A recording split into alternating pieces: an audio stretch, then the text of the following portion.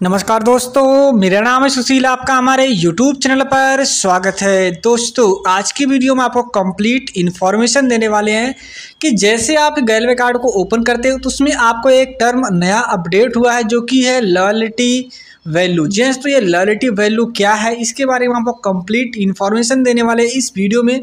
तो वीडियो में लास्ट तक बने रहे उससे पहले दोस्तों, अगर आपने अभी तक हमारे चैनल को सब्सक्राइब नहीं किया है तो सब्सक्राइब कर लीजिए। साथ ही में नोटिफिकेशन बेल को भी ऑन कर लीजिए। चलिए वीडियो को स्टार्ट करते हैं और आपको लेके चलते हैं सीधा डायरेक्टली गैरवे कार्ड पे और वहाँ से आपको समझाने की मैं पूरी कोशिश करता हूँ। तो चलिए शुरू करते हैं। तो सबसे पहले आपको अपना गैलवे कार्ड ओपन कर लेना। जैसे कि आप देख पा रहे होंगे, मैंने अपना गैलवे कार्ड ओपन कर लिया है और आपको जिन भी प्रोडक्ट का लॉयलिटी वैल्यू जानना है कि उन्हें हमें जैसे लॉयलिटी आपको पता होगा कि कंपनी में दो लॉयलिटी चलते हैं लॉयलिटी चौबीस सौ और लॉयलिटी पंद्रह सौ।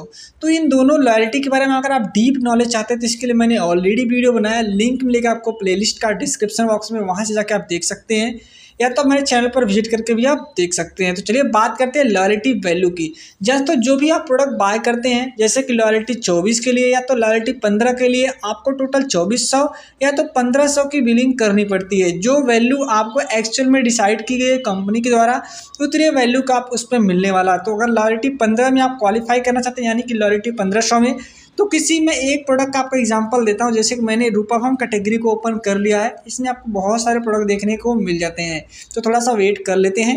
दोस्तों, जैसे देख पा रहे हो मैंने अपना गैलरी कार्ड ओपन कर लिया है, और आप देख सकते हैं कि सभी प्रोडक्ट पे, जिस तो सभी प्रोडक्ट पे जितने भी प्रोडक्ट आपको यहाँ पे दिख रहे होंगे, सभी भी कुछ ना कुछ लॉयलिटी वैल्यू आपको देखने को मिल जाता है, जो कि पहले ये टर्म नहीं था, अभी के अपडेट करने के बाद ये टर्म को लाया गया। अगर आपके गैलवे कार्ड में ये नहीं शो अप हो रहा है तो आप अपने गैलवे कार्ड को प्ले स्टोर से अपडेट कर दीजिए तो आपको ये दिखने लगेगा। तो यहाँ से आप देख सकते हैं, जैसे कि मैं आपको एग्ज़ाम्पल के माध्यम समझाता हूँ कि जैसे फिनराज हेयर ऑयल दो सौ इसका डी रेट है और आप देख सकते हैं लॉयलिटी वैल्यू दो सौ चालीस रुपये यहाँ पे दिखा रहा है। इसका मतलब अगर आप लॉयल्टी चौबीस में या तो लॉयल्टी पंद्रह यानी पंद्रह सौ चौबीस सौ में क्वालिफाई करना चाहते हैं तो आपको तो अगर ये प्रोडक्ट आप बाय करते हैं तो आपको दो सौ चालीस रुपये आपके हो गए। यानी कि अगर पंद्रह सौ में बात करें तो पंद्रह सौ में आपको दो सौ चालीस हो गए। और बाकी ऐसे करते करते, अभी सारे प्रोडक्ट के जितने भी प्रोडक्ट चाहिए, उतने प्रोडक्ट को आप देखते हैं तो आपको वहाँ पे सारे प्रोडक्ट की लॉयल्टी वैल्यू ऐड करके आपको मालूम चल जाएगा। जैसे कि आप लॉयल्टी में क्वालिफाई करना चाहते हैं पंद्रह में तो 240 में अगर आप दो लेंगे तो लगभग हो जाएगा पाँच सौ अस्सी रुपये सॉरी, चार सौ अस्सी। चार सौ, यानी कि अगर आप सात ले लेंगे या छः ले लेंगे तो टोटल पंद्रह सौ का हो जाएगा और लॉयल्टी वैल्यू भी पंद्रह सौ हो जाएगा। ऐसे आप देख सकते हैं बॉडी मसाज ऑयल में भी तीन सौ दो वैल्यू है और यहाँ पे तीन सौ तीन वैल्यू है। तो यहाँ से आप देख सकते हैं, यही होता है लॉयल्टी वैल्यू कि आप लॉयल्टी में जो क्वालिफाई करना चाहते हैं, ये प्रोडक्ट लॉयल्टी में अवेलेबल है या नहीं है, आप यहाँ से ये चिप देख सकते हैं। जैसे कि मैं आपको एक और एग्जांपल दिखाता हूँ।